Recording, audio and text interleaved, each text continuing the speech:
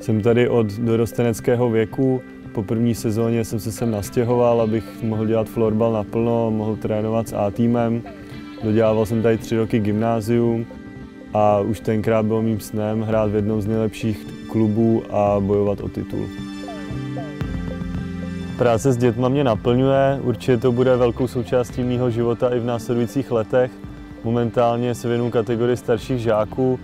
Myslím si, že máme dobrou partu, kluky to baví a určitě z nich můžou být dobrý florbalisti a dobrý sportovci.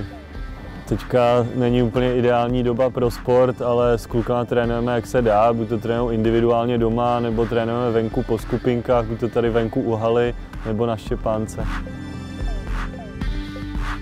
V Boleslavi jsem si za ty roky zvyknul, moc se mi tady líbí, město je pro mě ideálně velký, takže ideální na procházky, na ježdění na kole, jsou tady krásné cyklostezky, takže na tréninky využívám tady městský kolo a mám tohle rád, tenhle způsob dopravy.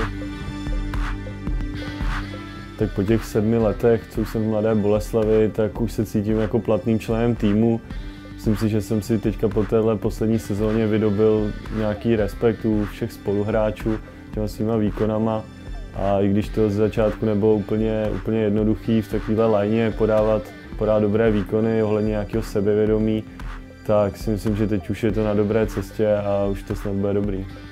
S Karasem a s Natym není, není vždycky úplně jednoduchý hrát, ale za ty roky už jsme si sedli a už jsme teďka hodně sehraný.